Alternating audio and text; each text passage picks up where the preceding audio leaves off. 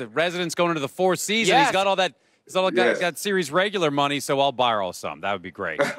No, and congrats on the show. As a doctor myself, Thank you. know, who is also I'm, I'm more than a resident, but as a doctor myself, I am a huge fan of the show, and you're entering your fourth season. And more importantly, I hear tomorrow's your birthday. Oh, Is that right? yes, yes. So you yes, are yes, a it's New Year's birthday. Day baby. Is that right? I was in.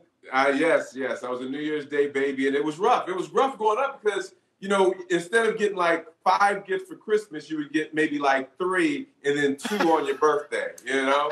yeah. So I wish I wish I was born like in June, so I could get like five gifts in June, and then five gifts in you know in January. Ridiculous. Now, are you 51 years old? Uh, I'm I'm 52. 52, and Ken is 51. Why do you look so much younger than Ken? How dare you? How dare you?